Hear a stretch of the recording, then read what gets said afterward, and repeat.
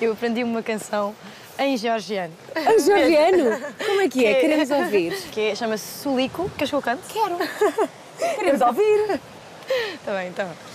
Sakvar sablavs vedzebdi Vervna redakar suliko Gula moskvni liftirodi Sadahar chemo suliko Fazes ideia do que é que quer dizer?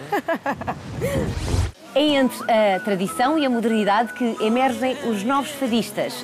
Filhos de uma tradição que se quer igual a si mesma, agora revisitada pelas novas vozes que vieram dizer e provar que o fado não é do tempo dos nossos avós, não é triste, não é chato, é a alma portuguesa no mundo. E é sobre esse reencontro que vou falar com a aclamada nova voz do fado, Cuca Roseta. Bem-vinda! Olá Cuca. Porquê Cuca Maria Isabel? Ah, foi um nome escolhido por alguém muito especial? Foi, por acaso é engraçado. Eu acho que foi um nome escolhido pelo destino. Porque eu tenho três irmãs mais velhas, que é a Ana, a Inês e a Rita. E, e quando eu nasci, na verdade, os meus pais queriam um rapaz e nasceu outra rapariga. E a minha mãe disse-me: Eu não tinha nome para te dar. E, e então ficaste, na verdade, sem nome durante uma semana. que agradável. agradável, não é? E entretanto, a minha irmã Rita, que era a mais nova, a minha mãe diz que ela que se pendurou no meu berço e disse: Olha a cuca. E disse que foi mesmo assim. Ah, na altura devia ser para ver o pica-pau amarelo e achar que eu era parecida com aquele dragão verde. devia estar com ciúmes. Ah, Não, tu és mas- muito mais bonita do que o dragão verde. um bebê no meu lugar. É já. E ficou Cuca. E então os meus pais chamam-me Cuca desde então, registaram-me Maria Isabel, porque somos todos Maria lá em casa. E, e eu sempre fui, os meus pais nunca me trataram por Isabel. Tu não nasceste herdeira desta tradição do fado, a genética não atua no teu caso, porque se assim fosse tu terias sido médica, não é verdade?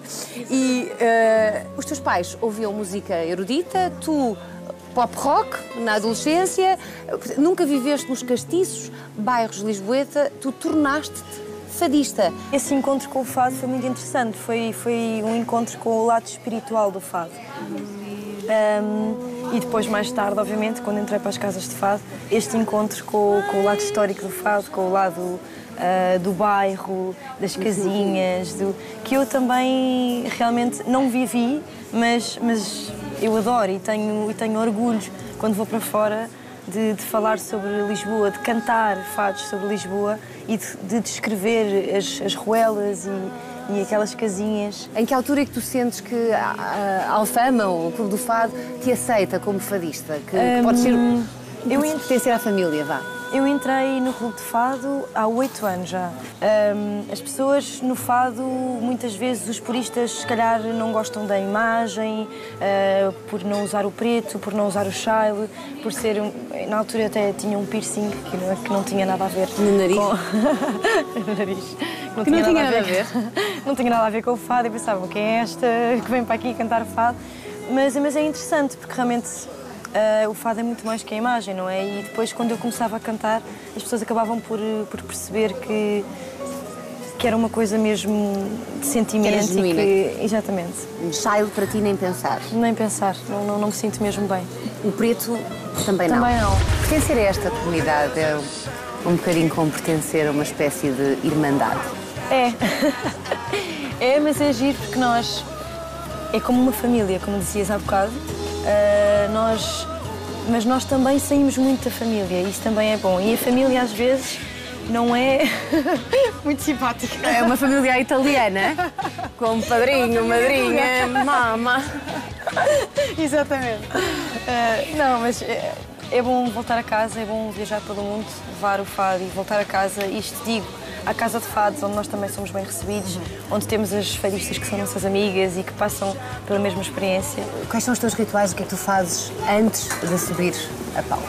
Eu preciso sempre de, de parar antes de, de- de entrar no palco e, e faço sempre uma respiração, faço sempre uma, uma meditação e é engraçado que só resulta ah, bem quando, quando é feito dessa forma. Para mim, ah, cada concerto, é, eu costumo dizer que cada concerto é um sonho realizado. Eu não tenho aquelas expectativas de eu um dia quero cantar com o Michael Bublé. Por acaso? E se calhar, não, agora pensando, não era má ideia. Não, mas...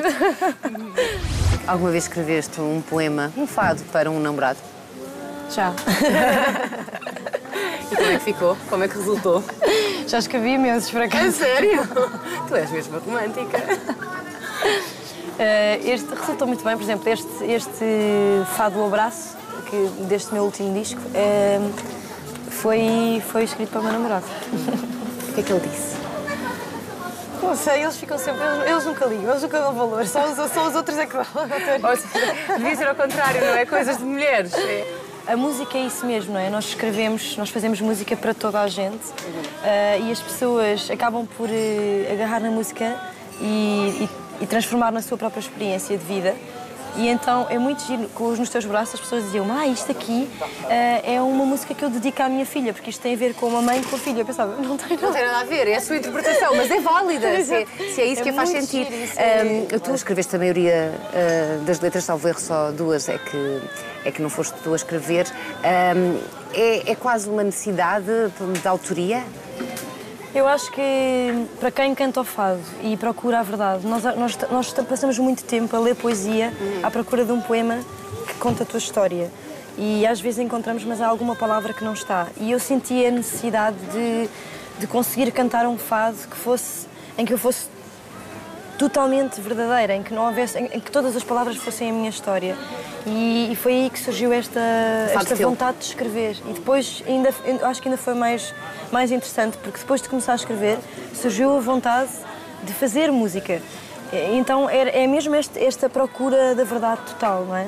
Eu, eu também fiz muitos dos fados deste meu disco hum, e essa descoberta foi maravilhosa porque também havia podia haver a possibilidade de eu não ser capaz de o fazer ah, e descobri, comecei começaram a surgir, a surgir músicas e uma vontade enorme de partilhar, tanto ao nível da palavra, como ao nível da interpretação e como ao nível da- das melodias.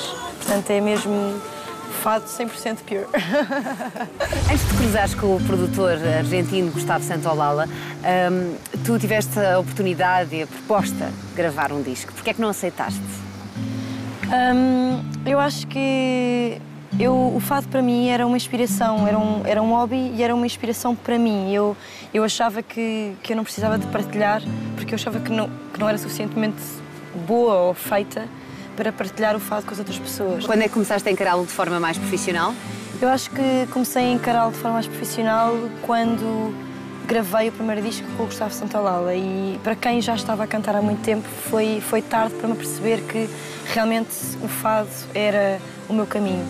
Ah, eu, eu tive outras propostas, mas na altura ta- estava a estudar Psicologia ah, e eu pensava, eu quero acabar o curso, por isso não, não faz sentido ah, estar a gravar já um disco de fado e, e pensava, e também não queria estar a fazer assim com uma pessoa que, que não fosse completamente apaixonada, que, que não valesse mesmo a pena, porque se, se é para dedicar a vida, então que seja feito à séria. E foi muito interessante, porque surgiu o Gustavo Santaolalla, não é? Que foi uma oportunidade única, não é? única, que, que era impossível desperdiçar, não é? Ah, e é muito giro isto também, acho que é, um- é uma lição para a vida, porque às vezes surge uma oportunidade e nós, e nós vamos logo por ali e, e se eu tivesse se calhar assinado com outra editora, não teria podido eh, trabalhar com o Gustavo Santaolalla e, e afinal veio uma coisa muito maior e foi uma experiência, bom, nada acontece por acaso, mas foi uma experiência que me marcou muito e foi um começo maravilhoso, não é? Tu ainda andaste a contrariar o teu caminho, porque ah, além da formação em Psicologia, fizeste depois uma pós-graduação eh, na área de marketing e ainda estavas a pensar eh, em ir pelos caminhos da antropologia. É verdade, é é? Bem, Mas tudo isto co- contribuiu pelo menos para a tua formação pessoal, di- digamos assim, não é? Sim, sem Já que não lhe deste outro uso. Agora que estás com o teu eh, segundo álbum, que se chama Raiz, eh, e que já não tens eh, a produção do Gustavo eh, a teu lado, este álbum é mais teu. Eu acho que este é muito interessante. O primeiro chama-se Cuca Roseta, mas eu acho que este aqui é um autorretrato mesmo. Por isso é que é raiz, porque eh, tu te sentes enraizada ou porque foste à raiz? Eu à acho, tua raiz. eu acho que eu demorei muito tempo a encontrar esse nome, mas Eu acho que, que esse nome uh, diz muita coisa. Tem um lado espiritual, uh, que, é, que é realmente o encontro, o encontro com a raiz, não é? o começo, começo de alguma coisa. Um, tem o lado de, de, ser, de ter encontrado na minha raiz, de ser a minha raiz, obviamente, e de ter encontrado na minha raiz a raiz do fado. Eu agora tenho a certeza absoluta que sou fadista. Quando alguém me, perguntava antes, é fadista? Uh, eu dizia, sou, mas agora eu sei que sou, porque fui mesmo buscar a minha essência. Quando encontras um poema que é mesmo, mesmo fantástico, uh, não te inibes de começar a trautear e a imaginá-lo em canção? Isso aconteceu com este poema de Flabela Espanca que eu, que eu gravei no meu disco, uh, que, que, se chama. Ai, agora ia dizer, o primeiro foi Tortura este chama-se Vaidade, uhum. uh, que foi. é perfeito. Aquilo é, é, mesmo, para mim, aquilo, tudo aquilo era exatamente o que eu queria dizer, principalmente neste disco. É muito bonito, diz sonho que sou poetisa eleita, aquela que diz tudo e que tudo sabe, e vai dizendo várias coisas, que sou isto e que sou aquilo, e depois acaba no último verso a dizer uh, mas quanto mais ando sonhando, quanto mais ando voando, acordo do meu sonho e não sou nada. E aquilo arrepia-me, eu já estou arrepiada agora. Sim, eu adoro, eu adoro. E é isso. Tu és um pinga-amor. sou, eu sou, eu Tu és um pinga-amor. Não vale a pena, eu estou sempre a chorar. a sério, qualquer coisa, qualquer coisa sensível, lá estou eu. Eu até tenho vergonha. Aceitas facilmente que não sejas uma cantora consensual? Se calhar justamente porque uh, o teu berço e o teu crescimento deu-se por estas paragens, por, nestas paisagens bonitas uh, do Guincho e não no bairro? Um, eu, eu sinto-me, por acaso, eu sinto-me uma pessoa muito confiante naquilo que eu sou como fadista. Sem dúvida que, que cria alguns atritos ou cria qualquer coisa. Anticorpos? Que não é, sim, exatamente. Não é. Não, é não é natural, é, vá. Pronto, não é o normal do fado, não nasceu. Mas. Mas eu.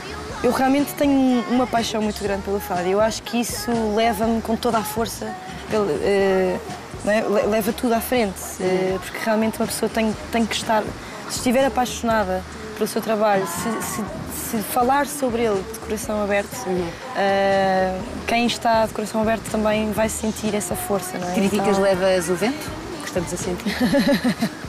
Críticas levas o vento, exatamente. É. Muito bem. Estamos prestes a despedir-nos desta paisagem maravilhosa escolhida por ti. Praia do Guincho atrás de nós e temos que registrar este momento.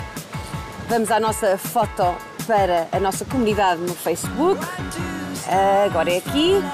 Vamos já ver, está muito vento, mas nós conseguimos porque somos destemidas. É aqui, vamos olhar para ali. Ah, ok. Em 3, 2. Ah! Ok, está quase.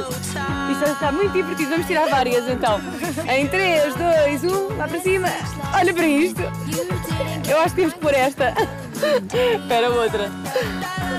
Ai meu Deus.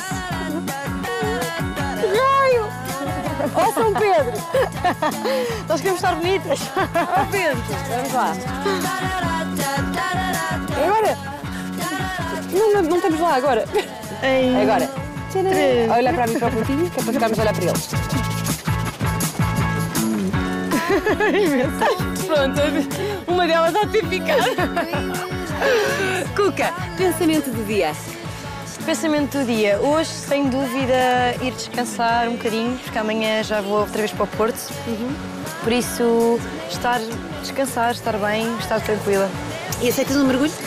Já? É, é já. Vamos já para lá.